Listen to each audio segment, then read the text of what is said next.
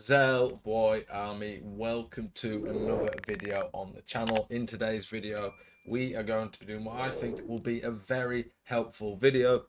It's giving you tips on how to win more games in champs. It's going to be two parts this video. Today's video is going to be more outside of the game, and then the next video we'll probably do just before champs, maybe on like Thursday coming up this week. Um, that'll be more in-game practical tips. So tutorials, guides, helping you get better at the game.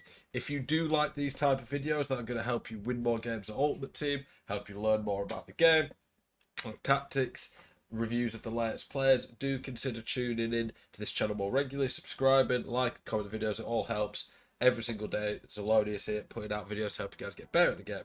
Um, but yeah, outside of the game and ultimate team is very important. The team that you put on the pitch. With team of the season probably coming up in the next couple of weeks, very important that you have a good team.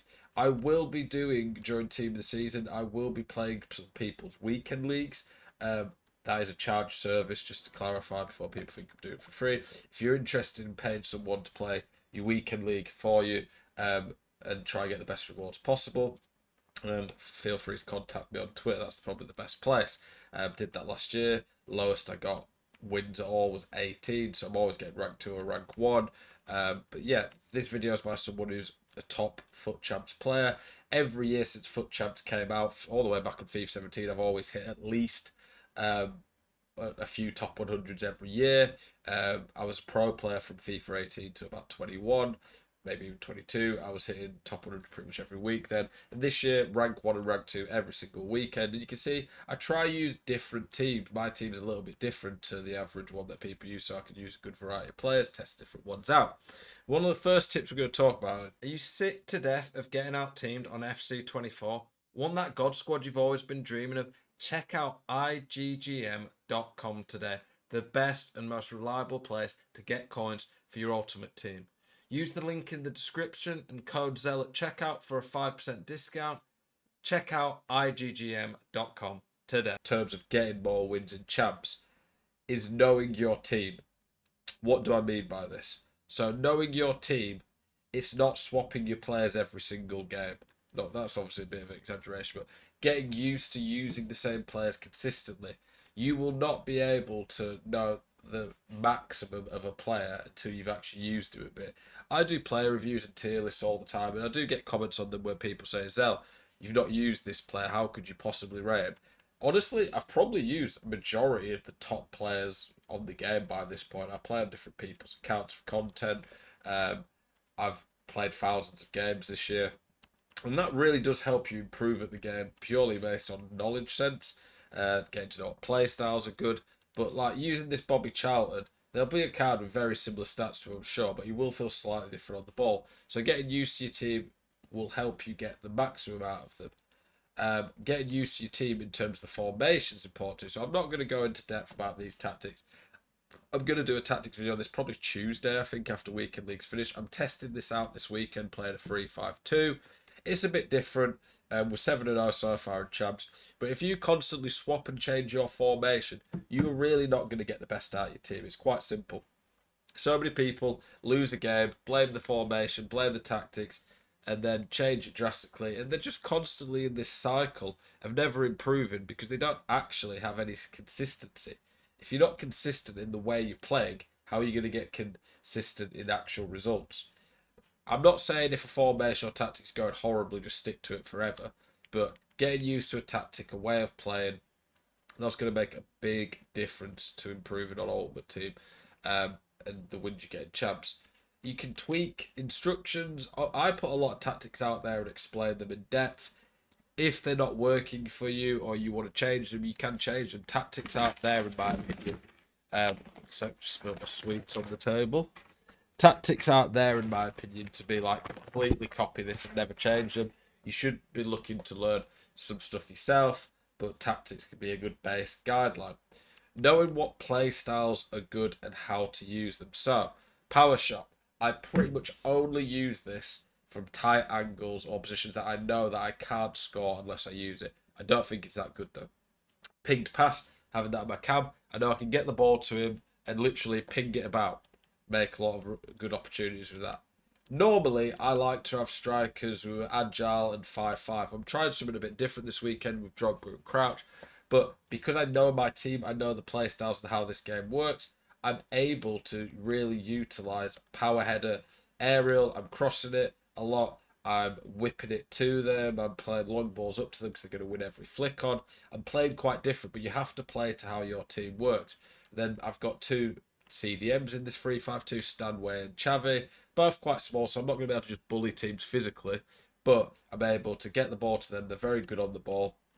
She's got 94 dribbling, really solid on the ball. Xavi's got 95 dribbling. Um, don't know why Stanway's only got 76 composure, by the way. But I know with these two, that they're so good when it comes to um, hitting uh, shots that I can play attacking with them. That they've got crazy passing. They've both got very good passing play styles, and they've got uh, really high passing stats. That I can pretty much with those two get the ball with them and do whatever I want passing wise. So that allows me to play in quite a different way. I've got whipped pass on my fullbacks. So do you see what I'm saying? I've got this style of play. My team all works together as a bit of everything. Building a team like that using good players is going to make a big difference. Just building the most expensive team you can afford isn't always necessarily going to work. You want a well balanced team, you want a good mix of play styles, you want um, a system that suits you, suits the formation. It's all going to make a big difference. And then a last one really for the team chemistry. I do see people with just missing their chemistry out. They have low chemistry because they've not put players in the right position or they're not utilising the manager. Make sure you do. Chemistry can make a big difference. And then for the tactics, have a game plan A and a game plan B and a game plan C. If I'm losing by a goal or two, I will switch to the press after possession. It's more aggressive, gives me more of an avenue back into the game. If I'm losing by a few, I'll go to the ultra attacking not just resting on your laurels and accepting the way the game's going, whether you're winning, losing, or drawing, is important. A lot of people lose games that they really shouldn't because they're just idiots just stay playing the same way. Um, evolutions. This is definitely a way you can get more wins out of champs. And you're probably thinking, how's that? Honestly, just checking it every so often and seeing if there's one that you can use to upgrade your players. My Saliba that I've been using for a couple of months, getting a free plus one from Unleashing Potential. Objectives. I would never play objectives in champs in the sense of try to get objectives that are obscure ones like you using certain players. I would save that for rivals. Champs is one shot, as in you only get one chance to play the 20 games. So don't waste it trying objectives, but doing objectives outside champs to build your packs up is definitely going to help. And then the last one, really, I would say SBCs. If it wants to load at all keeping your eye on what good SBCs are out can massively improve the state of your club. A lot of people really don't do a very good job with SBCs, in my opinion. I don't really get why they don't do it properly, but a lot of people, um, yeah, just they just build whatever SBC they see straight away. There's no plan to it. I make mistakes sometimes in the Socrates SBC and I regret it. Um, I wish I'd done Ribery or Hadji but as you can see, there's a lot of great players in the SBCs.